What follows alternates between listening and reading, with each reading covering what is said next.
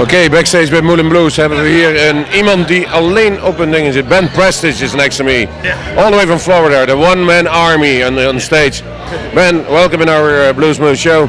All right, thank you. It's good to be here. Um, first of all, congratulations because I was somebody whispered in my ear you, you became a father recently. Yeah, brand new. yeah. How it is to be on the road if you have a beautiful child at home? Uh, it's hard. I would like to be at home, but I got to work too, so I have to do this. But uh, yeah, I miss my wife. I miss my baby.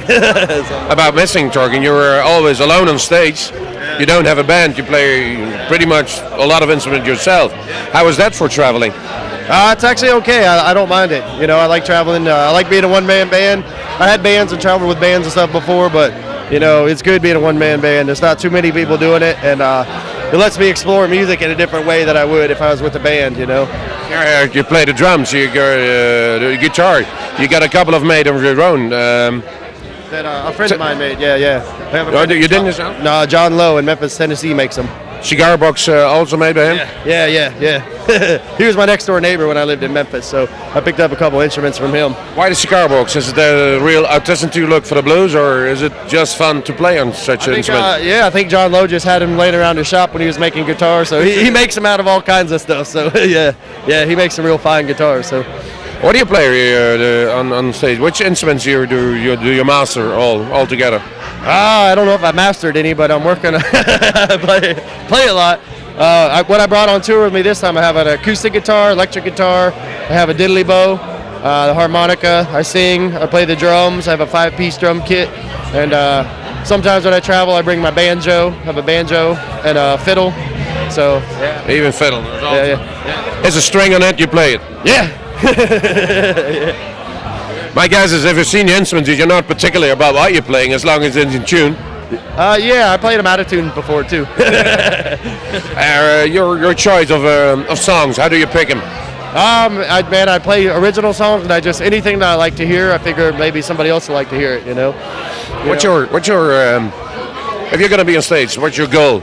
My goal: Yeah, what you what do you want to achieve? If you're gonna if you're, you're ahead of make people have a good time. that's a pretty festival, yeah, at a festival, man, it's all about for people to have a good time. You know, if I do a long show in the United States and play three or four hours, then I can do all kinds of things. I can tell stories with the songs. You know, I can make people think or uh, make people dance.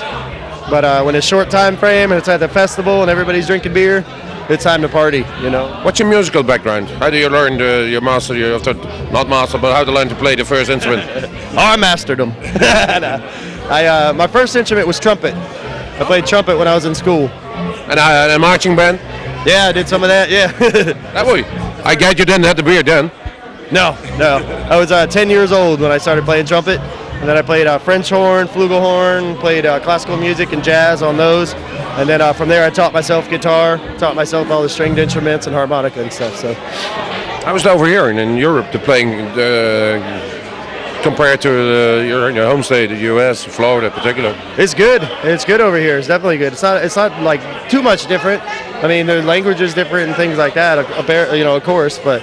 Um, man, it's good crowds, you know. People have a good time over there. They have a good time here. So Holland, especially, is good.